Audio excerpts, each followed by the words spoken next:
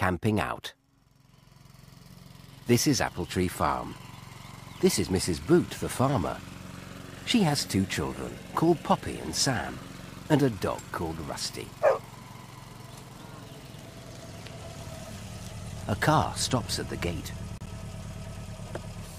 A man, a woman, and a boy get out. Hello, says the man. May we camp on your farm? Yes, you can camp over there. We'll show you the way, says Mr. Boot. The campers follow in their car.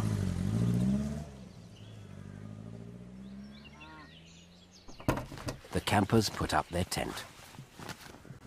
Poppy and Sam help them. They take chairs, a table, a cooking stove, and food out of the car.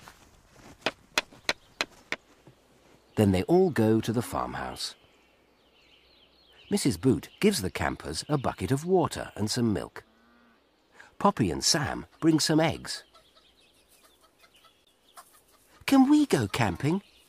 Please, Dad, can we put up our tent too? says Poppy. Oh, yes, please, Dad, says Sam. Mr. Boot gets out the tent. Poppy and Sam try to put up the little blue tent, but it keeps falling down. At last, it is ready. Come and have supper, then you can go to the tent, says Mrs. Boot. But you must wash and brush your teeth first. Poppy and Sam go to the tent. It's not dark yet, says Sam. Come on, Rusty, you can come camping with us, says Poppy. Poppy and Sam go to bed. They crawl into the tent and tie up the door. Then they wriggle into their sleeping bags. What's that noise?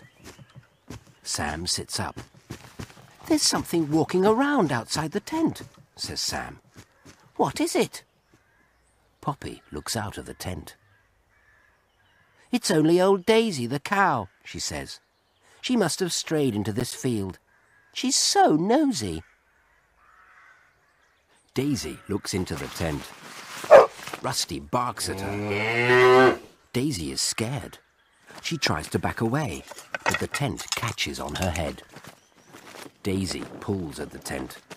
She pulls it down and runs off with it. Rusty chases her. Poppy and Sam run back to the house. Mr. Boot opens the door. Hello, Dad, says Sam. Daisy's got our tent. I think camping is fun, says Poppy.